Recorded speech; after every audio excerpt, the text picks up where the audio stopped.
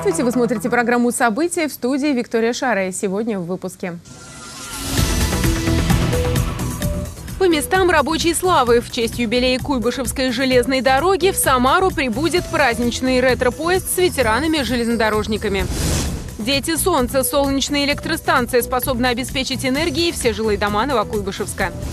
В Самаре снизилась смертность от болезней системы кровообращения. Это стало возможно благодаря созданию новых сосудистых центров. В Волгаре появились четыре новые улицы. Они должны сделать выезд из поселка более комфортным. О мышах и людях в Самаре парки, скверы и набережную обрабатывают от грызунов. Лесные пожары в Самарской области полностью ликвидированы сообщает МЧС. Горел один гектар в 10 и 11 кварталах Волжского лесничества в районе поселка Калинка и территория в 27 и 36 кварталах Самарского лесничества в границах Волжского района. Погибших и пострадавших нет. Для тушения были задействованы 444 человека, 88 единиц техники. Но угроза возгорания по-прежнему сохраняется. Это касается четырех муниципалитетов – Самары, Тольятти, Волжского и Ставропольского районов. В них объявлен четвертый класс пожароопасности. Главное управление МЧС России по Самарской области в очередной раз просит жителей быть предельно осторожными с огнем. При возникновении чрезвычайных ситуаций необходимо звонить по единому телефону пожарных и спасателей 101 или 01. Единый телефон доверия Главного управления МЧС России по Самарской области указан на экране. Вестник из прошлого на первую платформу железнодорожного вокзала прибыл легендарный паровоз «Лебедянка». В честь 145-летия Куйбышевской железной дороги в Самару приехали ветераны профессии. Заслуженные награды они получили из рук губернатора Дмитрия Азарова.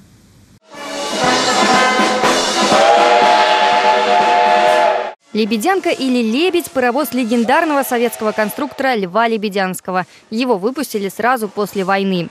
Тогда железнодорожные пути были сильно повреждены, поэтому новый паровоз должен был отличаться от всех существующих своей легкостью, чтобы не перегружать уцелевшие рельсы, и быть универсальным, возить как пассажирские, так и товарные составы. В итоге такой паровоз стал самым экономичным в Советском Союзе. До 47-го его называли «победным», позже присвоили имя конструктора. Спустя годы легендарный паровоз прогудел на Самарском вокзале. Он прибыл в честь 145-летия Куйбышевской железной дороги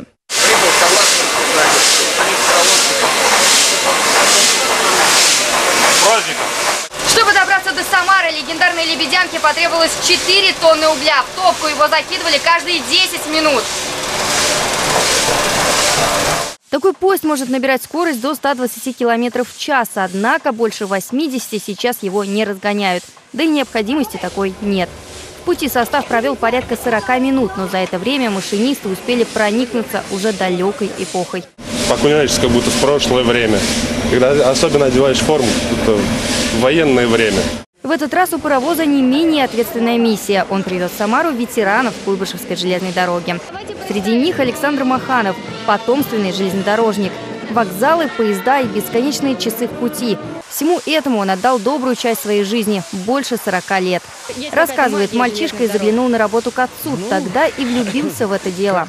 Мне понравилось. Во-первых, там постоянно познаешь, то есть приходится над собой работать. Значит, электровозы меняли с одна серия, другая, третья, разные схемы, разные, значит, э, технологии. Приходится все время и учиться постоянно, и учить людей. Заслуженных работников железной дороги наградил губернатор Дмитрий Азаров. Я очень рад тому, что славный коллектив Куйбышской железной дороги вносит свой вклад э, в это уверенное движение вперед во всех смыслах. Точное по расписанию движение вперед. Мы, конечно, очень рады тому, что показатели пассажироперевозок, грузоперевозок являются индикаторами роста экономической активности промышленного производства на территории Самарской области. Железнодорожники продолжают работать над новыми проектами. Один из крупных и крайне важных для региона – строительство новой ветки длиной почти 14 километров до особой экономической зоны – Тольятти. Соглашение о реализации этого инвестиционного проекта между правительством области и компанией РЖД было подписано 1 октября этого года в Москве на транспортном форуме. Планируется, что первые грузовые поезда с продукцией тольяттинских заводов пойдут уже в 2021 году. Поддержан проект и по созданию скоростного пассажирского сообщения Новокуйбышевск, Самара, Курумыч, Тольятти. Кроме того, РЖД и Куйбышевский филиал ведут обновление вокзалов и железнодорожных путей и оснащение новой техникой. Сегодня Куйбышевская железная дорога универсальна. Кроме поездок на большие расстояния, ежедневно сотни самарцев пользуются электричками, чтобы добраться до дач или отдаленных районов города. Только за 8 месяцев этого года на пригородных поездах проехали почти 6 миллионов человек. Мария Левина, Мария Илчан, Николай Епифанов, Константин Головин. События. Самара – город солнца. Миллионы квадратных метров солнечных батарей расположились под Новокуйбышевском на крупнейшей электростанции в России. Как добыть и использовать экологически чистую энергию, узнали ученики 11 класса, участники фестиваля «Вместе ярче». Подробности в репортаже Елены Нижегородцевой. Вместе! Электростанция начинает работу с первыми лучами солнца. Стройные ряды фотоэлектрических модулей на полную мощность включили с мая этого года. Обслуживание почти без затрат. Срок эксплуатации одной батареи 30 лет. Экологически чистая энергия. Нет вредных выбросов в атмосферу. Попроще, солнечная энергия, попадая на панель, которая состоит из кремния, а, вырабатывает напряжение. Это напряжение собирается и с помощью определенных устройств попадает в сеть к потребителям. На этом поле находится 260 тысяч фотоэлектрических модулей. Они способны выдавать 75 мегаватт электроэнергии в солнечный день.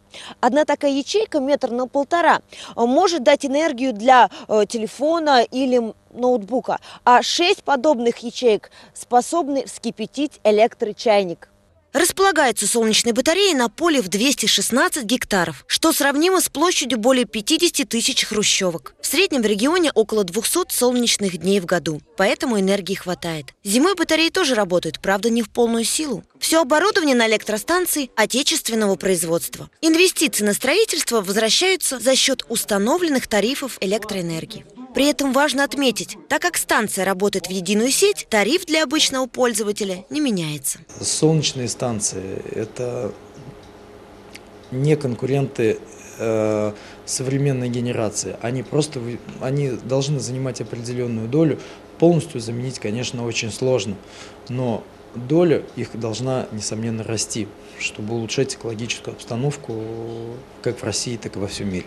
Ученики 24-й школы с интересом слушали главного инженера станции. Еще бы! Они своими глазами видели, как радиацию превращают в полезную энергию. Некоторые впервые задумались о пользе такого альтернативного источника энергоснабжения.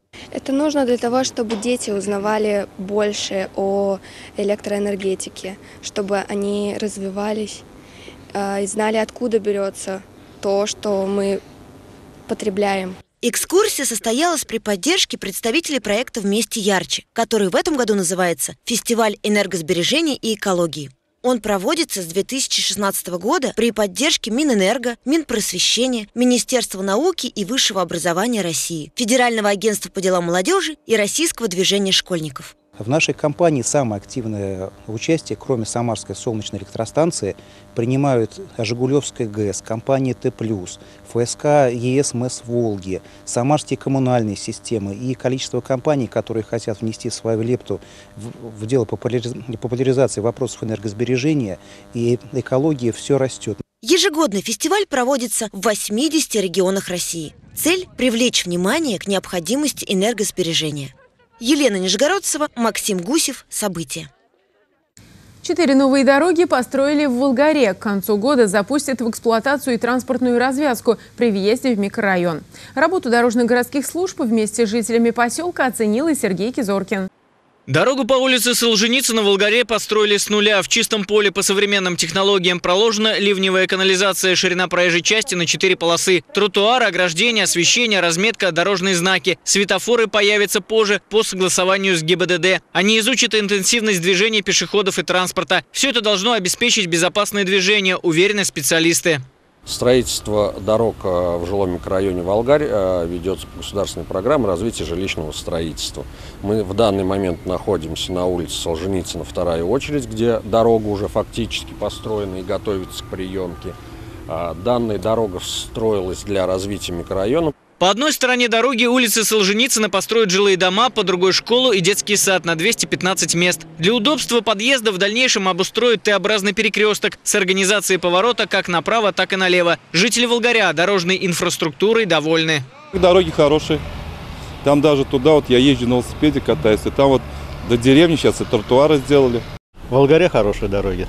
До конца года в микрорайоне Волгарь будет пять новых дорог. Одна из них проложена к парку Дружбы, другая по улице Талабаева, а также по Осетинской, где на первой очереди подключили фонари. А при въезде в поселок Волгарь с улицы Народная появится новая развязка. Благодаря этому станет проще добираться до центра города и обратно. А старый выезд закроют. Уже расчищена площадка под строительство дороги. Идут земляные работы. Закончили устройство ливневой канализации. Ведется перекладка городского коллектора.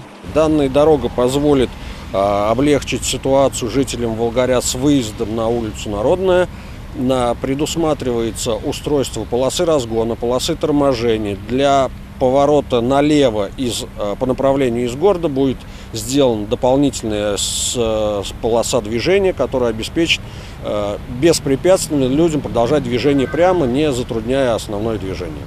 Графики строительства согласованы, сроки выполнения находятся на контроле правительства Самарской области, регионального министерства транспорта и автомобильных дорог, городских властей. Финансирование ведется из федерального, областного и муниципального бюджетов. Гарантия на все новые дороги в Волгаре – 5 лет. Конце года планируется открытие еще Фрунзенского моста. Это, по мнению экспертов, кардинально изменит ситуацию с распределением трафика и облегчит транспортное сообщение жителей Куйбышевского района с центром Самары, а дальше с федеральными автодорогами М-32 и М5. Сергей Кизоркин, Дмитрий Мешканцов. События. Снижение смертности при ДТП, строительство новых детских садов и развитие учреждений культуры. Все это первые плоды реализации национальных проектов, которые инициировал президент России Владимир Путин. Правительство Самарской области держит поставленную планку. Каких результатов уже удалось достичь, знает наш корреспондент Анатолий Головко. В Самаре снизилась смертность от болезней системы кровообращения. Это стало возможно благодаря созданию новых сосудистых центров, которые открывают на деньги национального проекта здравоохранения. Сейчас региональные власти выделяют большое количество средств на обновление материально-технической базы и возведение новых больниц. По нацпроекту в Тольятти строят две поликлиники, еще одну в Сызрани, а также ремонтируют детские отделения. Кроме того, в области активно закупают оборудование для диагностики сердечно-сосудистых и онкологических заболеваний. В региональной сосудистой 11 центр на базе Самарского областного кардиологического диспансера доставлено 5 дорогостоящих функциональных кроватей. В конце октября начнет работу особый компьютерный томограф. По словам председателя регионального правительства, в Самарской области есть проблемы с показателями по уровню рождаемости. Их придется решать при формировании бюджета на следующий год. 8 э, показателей из 155 э, сегодня находятся в зоне риска. Мы это тоже очень хорошо понимаем. Это не значит, что они недостижимы, это значит, что нам нужно предпринять ну, просто э, там сверхусилия для того, чтобы этого добиться. До конца года в Самарской области получат поддержку 82 учреждения культуры. Кроме того, в регионе появится 9 новых мобильных библиотек, 6 виртуальных концертных залов и 3 кинотеатра. Одним из приоритетных направлений в сфере музейного развития станет большая реновация главного регионального музея, музея имени Алабина. Заявка в нацпроект уже отправлена. Если она будет удовлетворена, то с 2021 года начнутся работы по реновации музея. На деньги нацпроектов в этом году в Самарской области построят и реконструируют сразу 28 детских садов. 17 из них ведут в эксплуатацию до конца 2019 года. Это один из самых серьезных показателей при реализации президентских инициатив. Кроме того, в регионе удалось увеличить рост продолжительности жизни до 73 лет и одного месяца. Уровень бедности снизился до 12,9%. Количество погибших в ДТП уменьшилось на 16%. Анатолий Головко, Николай Епифанов. События. В Самаре уничтожение мышей и грызунов, согласно санитарным правилам, проходит два раза в год. Это нужно, чтобы не допустить вспышки заболеваний, которые переносят эти животные. Обработать планируют 165 гектаров земли. Это территории парков и скверов. Боролся с грызунами и Никита Борисов. У мышей и других грызунов нет шансов. В Самаре началась осенняя обработка парков, скверов и пляжей. Препарат ядовит только для маленьких вредителей. Для других животных и, главное, для людей он абсолютно безопасен, уверяет биолог и санитарный врач Сергей Масовов. Та концентрация, которая находится в брикете, для собак совершенно безопасна. В то же время брикеты сделаны таким образом, э, введены такие добавки, которые, в общем для собак совершенно непривлекательны. Обработка проходит в целях профилактики таких заболеваний, как, например, геморрагическая лихорадка с почечным синдромом. Она наблюдается в основном в пригородных зонах и передается людям от мышей и грызунов воздушно-капельным путем. Без своевременной помощи медиков может привести к летальному исходу. Поэтому уничтожение грызунов и мышей проходит в местах, где они могут появиться. Обработка проходит в три этапа. Производится визуальные определения наличия либо отсутствия грызунов. А после этого проводится непосредственно сама дератизация и э, контроль качества. Осенняя обработка против мышей и грызунов в скверах, парках и на пляжах Самары продлится до 15 октября. Никита Борисов, Николай Сидоров. События. Привидение в английском замке и история о любви и сострадании. Самарская эстрадная студия поставила мистический мюзикл о проблемах современных подростков. Спектакль уже выиграл 5 гран-при и скоро будет представлен на авторитетном московском конкурсе. Подробности в нашем сюжете. История о любви и дружбе в мистической атмосфере английского родового гнезда. Мюзикл «Тайна серого замка» для эстрадной студии «Дорога добра» стал профессиональным вызовом. Постановку сделали полностью самостоятельно. От сценария до музыки, декораций и костюмов. Его создатели хотели рассказать историю о современных подростках. Вообще нам хотелось показать современных детей потому что дети у нас выросли. Вот основной коллектив – это дети-подростки. И э, хотелось именно рассказать историю про них. Действия постановки поместили в английские реалии. По сценарию ребята приезжают жить в родовой замок. Позже оказывается, что у него есть своя загадка и что здесь обитают привидения.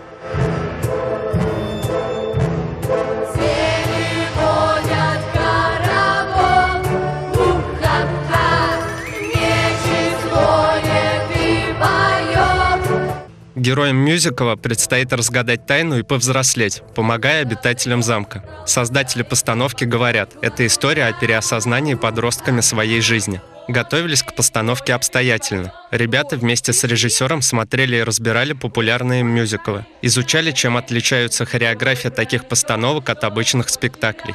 Было сложно. Многие ребята не понимали, что, что я от них хочу. Вот. Мы долго беседовали, много разговаривали, у нас были слезы, потом был смех. Персонажей постановки адаптировали под реальных актеров, их привычки и характеры.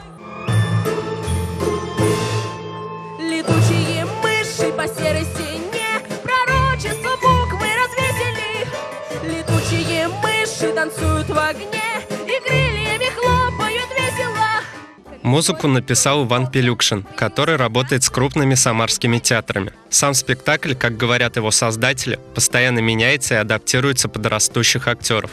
Итог такой работы – 5 гран-при за этот год и овации публики.